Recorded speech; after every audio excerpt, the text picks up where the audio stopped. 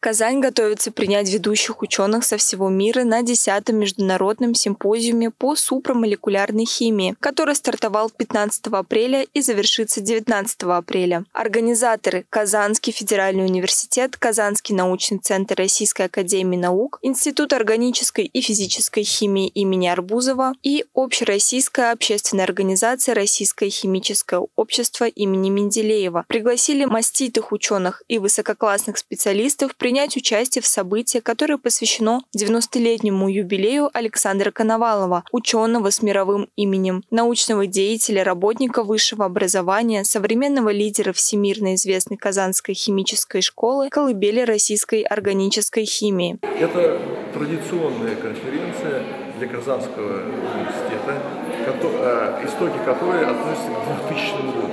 Вот первый симпозиум был э, организован в 2000 году. И э, сегодня десятый э, симпозиум.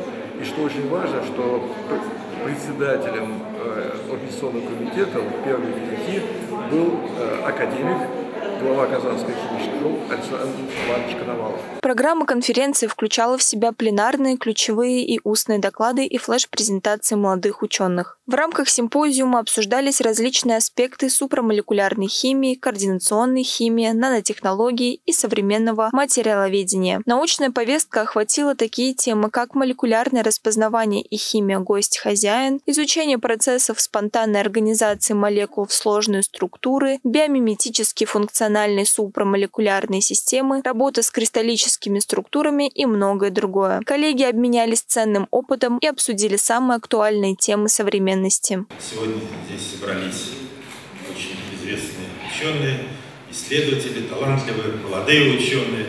И от лица многотысячного коллектива Казанского федерального университета позвольте вас сердечно поприветствовать и отметить, что эта конференция, она проходит очень знаменательный год, в год 220-летия со дня основания нашего университета в ноябре месяце будет отмечать 220 лет. Помимо научной программы, гости симпозиума также смогли принять участие в различных заседаниях, докладах, дискуссиях и мастер-классах, представленных ведущими специалистами в области химии. Коллеги укрепили научные связи и установили новые контакты для дальнейшего сотрудничества. Резида Каримова, Кристина Отекина, Николай Суховский, Универ Новости.